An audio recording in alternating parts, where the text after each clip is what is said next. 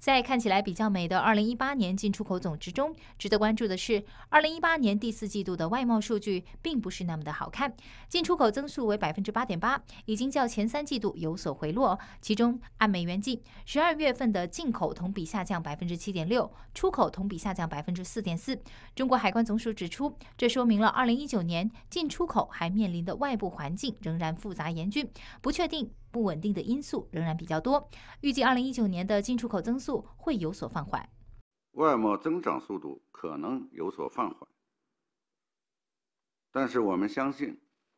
随着我国进一步扩大开放，以及供给侧结构性改革的深入推进，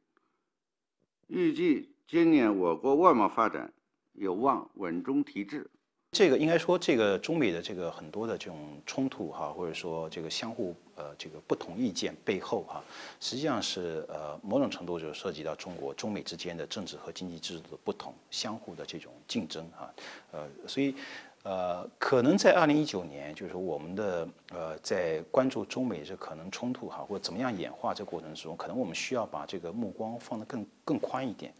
呃，因为有可能这种摩擦可能会。跳出像二零一八年更多的在关税啊双方相互增加关税，跳出了这个范畴，可能会对更多的在非关税之外可能会有更多的这个摩擦。所以从这个逻辑上来讲，我觉得中美，呃，我们说这个清单上的很多的这种命题啊，并不是一个通过短期九十天就能够完全谈妥的。外贸摩擦之下，最知冷暖的是企业。尽管中美贸易摩擦出现了回暖的迹象，但国际市场的不确定性仍然让企业不敢掉以轻心。企业表示，在抢出口之后，长远的应对措施是创新改良、降低成本、提高效率。降低尽量降低我们的成本，然后提高我们的技术含量，就多增加一点。呃，比如说速度上面的提升，呃，价格就不会改变，那客户也会感觉到我们是很容易跟他们去做生意的。传统的一些设备，我们现在也慢慢逐渐淘汰，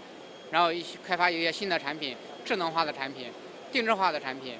呃，尽量去满足客户的要求。然后现在这些客户在在我们前期的几年的努力当中，现在已经成为了我们的一个增长点。产品百分之八十是出口，我们就是很早之前就开始做一些规划。呃，在环保治理啦，呃，产品结构的调整啦，呃，这方面做了早做准备。我们的产品呢，就是符合市场需求。在目前变幻莫测的国际形势之下，企业都在积极的寻找应对策略，政府也在一轮一轮的进行磋商，而汇率就不可避免的随之震荡。人民币对美元的汇率近期大幅上涨，令市场感到意外。那么背后究竟是受哪些因素的影响？下节回来我们继续话题。